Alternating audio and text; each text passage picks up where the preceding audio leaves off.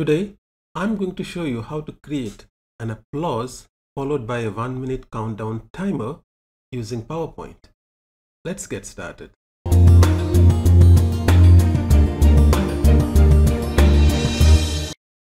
When we hold online meetings, a presentation like this can make our meeting look very professional. When a speaker finishes his speech, we start with an applause, followed by a one minute countdown, and a final slide which simply says that minute is up. How does this work? Let's say I run this slide and I click on the applause.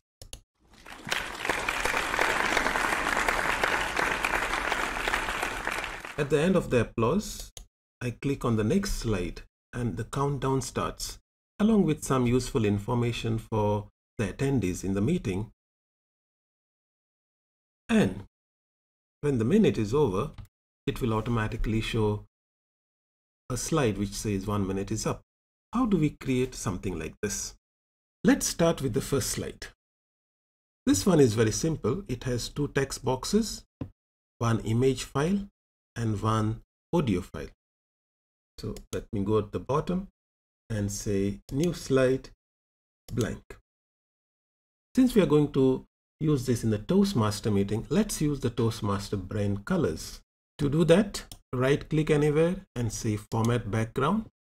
I'll choose the solid fill and the color that I need is a very specific color. So let me choose more colors and go to the custom option and type the navy blue brand color of Toastmasters, which is 004165.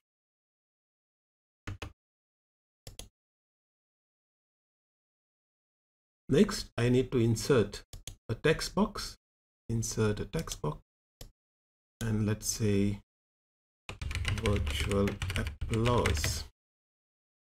Let's make the color of the font white and choose a font size that is big.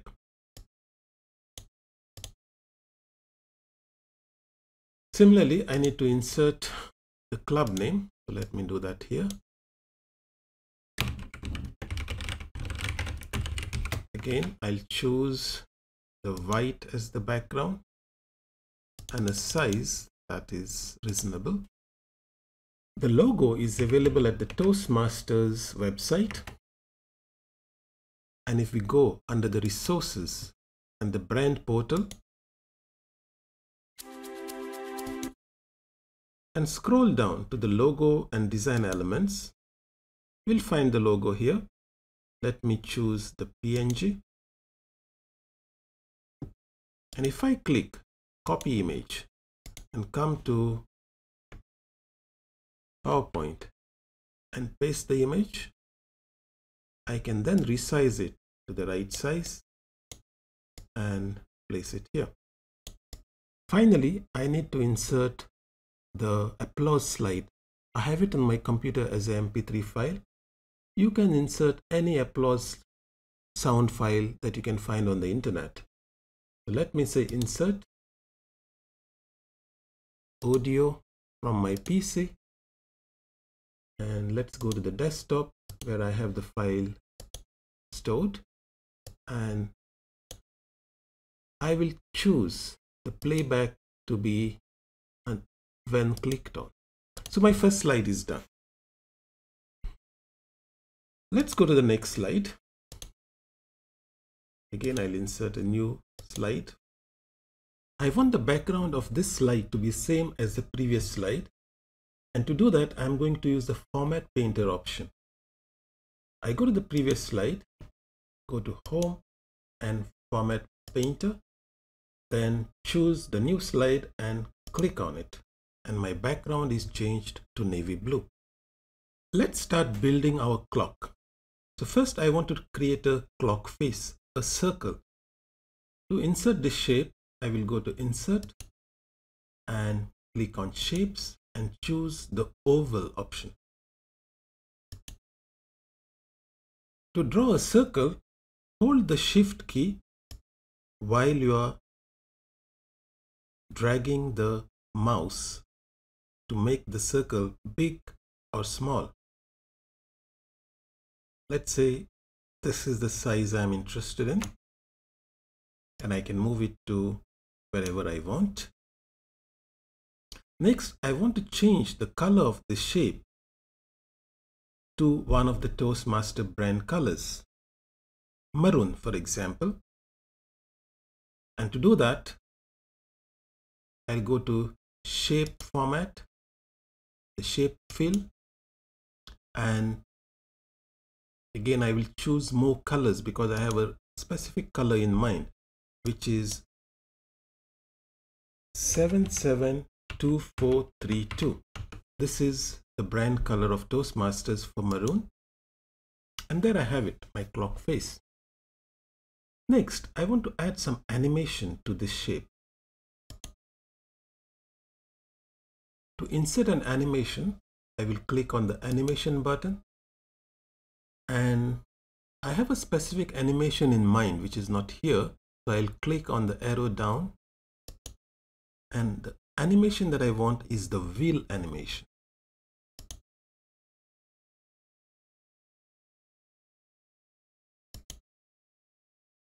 As you can see, the duration of the animation is currently set to 2 seconds. And let's say I want it to be 1 second. Every 1 second, it should turn. And let me put the start to be with previous. That means when the slide is started, automatically the animation will start. To see how this looks, let's go to slideshow. That's it if I want this animation to continue rotating, I can go to the animation pane and in the drop down choose effects option go to timing and repeat until end of slide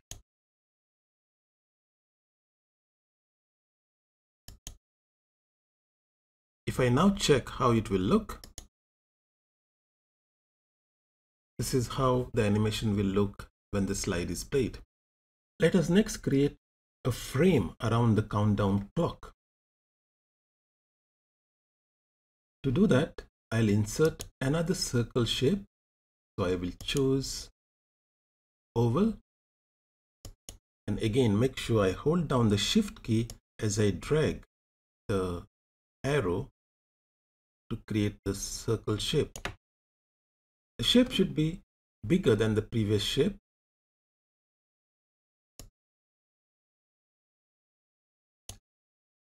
And let me move it back by using send to back. Let's have it little smaller size. Now this shape I want to have no fill and I will play around with the shape outline. So first let me choose the outline color. Again I'll go to the more outline colors and let's choose another Toastmaster brand color which is a gray A9B2B1. You can find the codes for all Toastmaster brand colors in the Toastmaster brand manual. Next, I want to make the outline bigger. So I again choose the shape outline, put the weight, and the maximum I can choose here is 9, but I want it bigger than that. So let me click on more lines and in the width here instead of 1 let me choose 20 that seems great.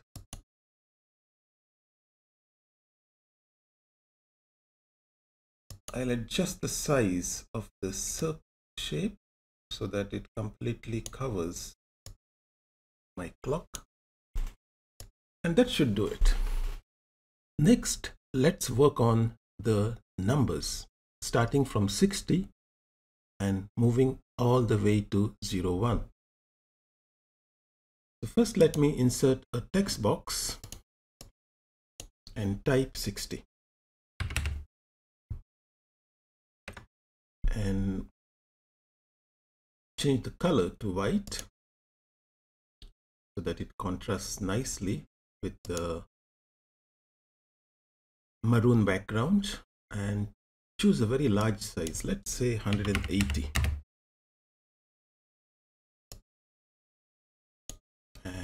maybe even make it bold.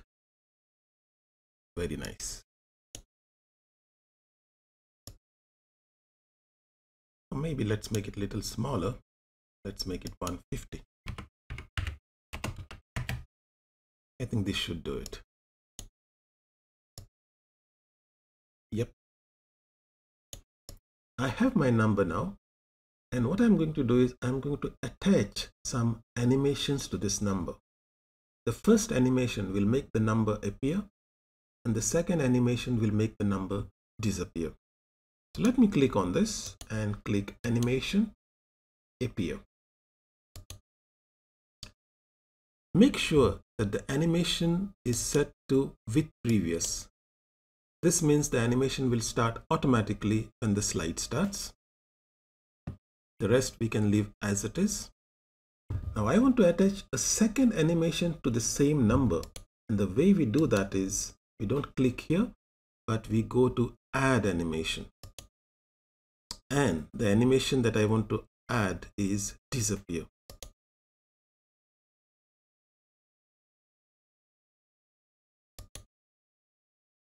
So this is the appear and this is the disappear.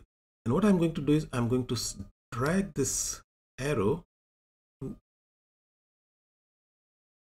one second exactly, which means the number 60 will appear immediately when you start the slide, but it will disappear after one second. Let's copy this number and make 59 and that's very easy to do. You can just hold the control key and move the shape and it makes a copy. And I will change this to 59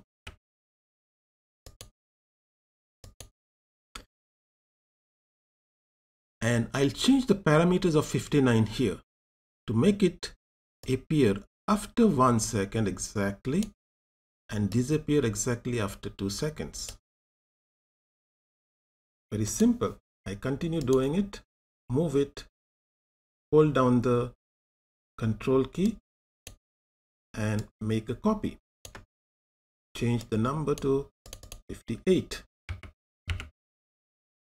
change the animation to start at 2 seconds and stop at 3 seconds. And we continue doing this for the rest of the numbers.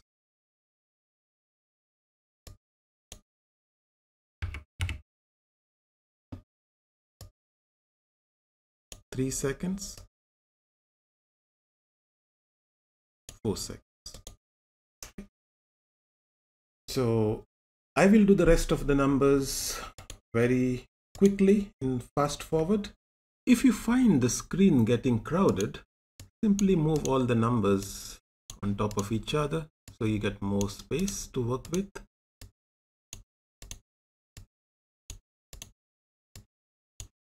And start again with 54 copy and so on we now have all the numbers from 60 to 01 and to make sure that they are all aligned what I can do is select everything and choose the shape format align top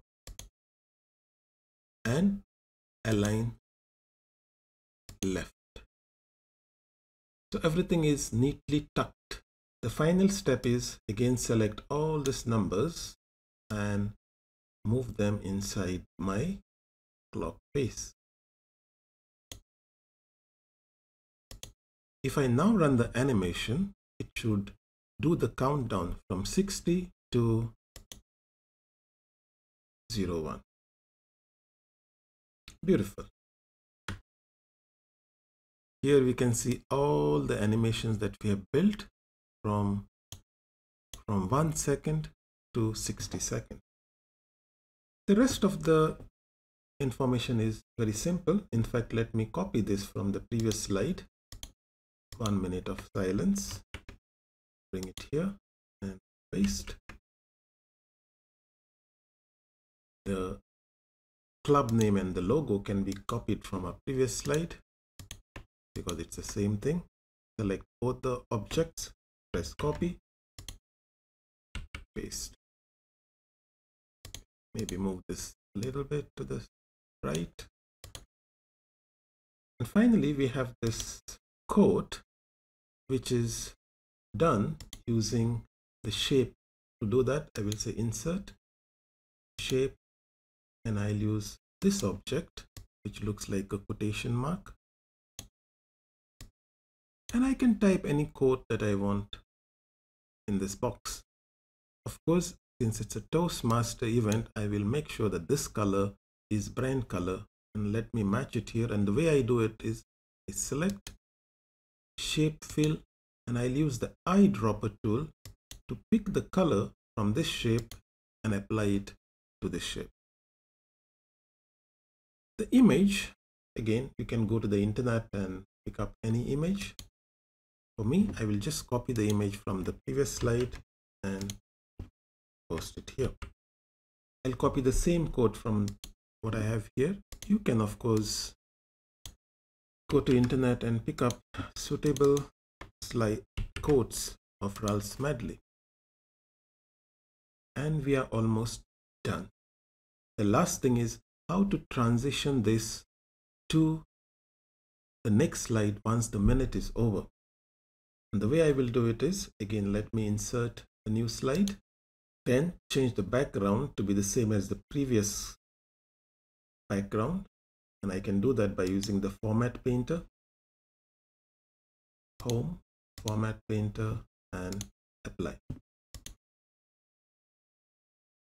I need a text box which says one minute is up and the other elements I can copy them from my previous slide the logo and the club name copy go to the new slide paste again I can copy this object and control V to paste it and say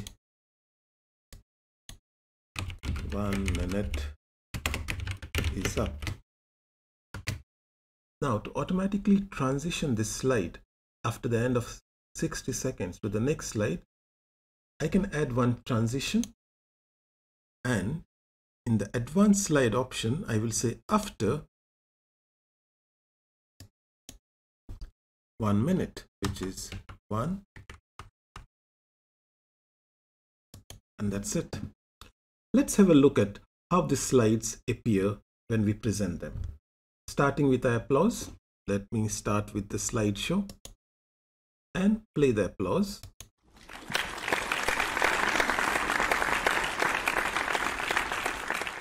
Beautiful. Let's advance to the next slide and when I do that, you will notice that the countdown timer starts automatically. Just make sure that all the numbers are counting down in the right sequence and that will depend upon how we have created the animations for a number to appear at a specific time and then disappear after one second. Everything looks good, very impressive. And there you have it, my friends. A countdown timer created in PowerPoint with beautiful animations.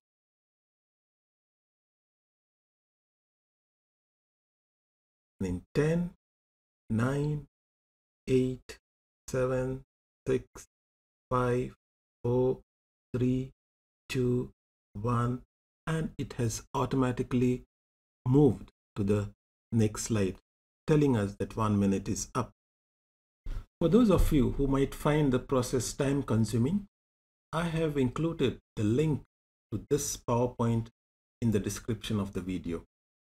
I hope you enjoyed it and good luck in your next Toastmaster online meeting.